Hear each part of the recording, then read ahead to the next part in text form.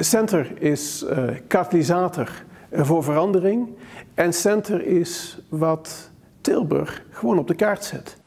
In de jaren tachtig is het besluit genomen om in, uh, in Tilburg uh, een wetenschappelijk topinstituut neer te zetten. Nou, mensen als Arie Kaptein, uh, Roelend Veld was daar een, een, belangrijke functie in van de, vanuit de overheid. En nou, dat was ongehoord. Want het idee dat je in Tilburg uh, in Brabant notabene, dus niet Rotterdam of Amsterdam zou zijn. Je zou proberen de beste in Europa te zijn, de beste in de wereld. Dat heeft gewoon ongelooflijk goed gewerkt.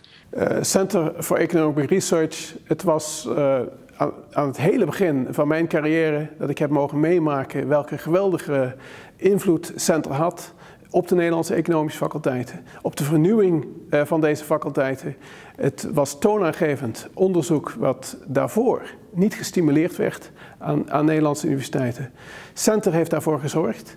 En het was een soort ja, een af en aan van topmensen. Mensen die later ook Nobelprijzen gekregen hebben. Die kwamen van Harvard, ze kwamen van Oxford, ze kwamen van, Californië. Ze kwamen allemaal naar Tilburg toe notabene. Om, om zult te eten en, en, en een Brabants biertje te pakken. En tegelijkertijd de beste wetenschap te bedrijven die er is.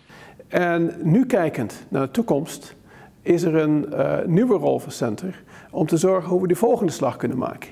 En uh, wat ik de afgelopen jaren gemist heb, is de profilering van Center als Center in de markt. Ik denk dat het nu noodzakelijk is dat Center zich wederom gaat profileren en laat zien hoe we de volgende slag maken om aansluiting te krijgen bij de absolute internationale top.